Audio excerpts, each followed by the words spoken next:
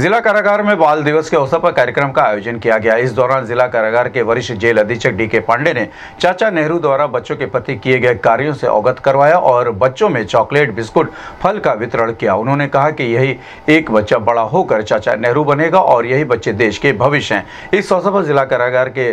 jailer Arun Kumar Kushwaha उप jailer Vijay Kumar Vishwanath Pandey Amita Srivastava Krishna Kumari उपस्थित रहीं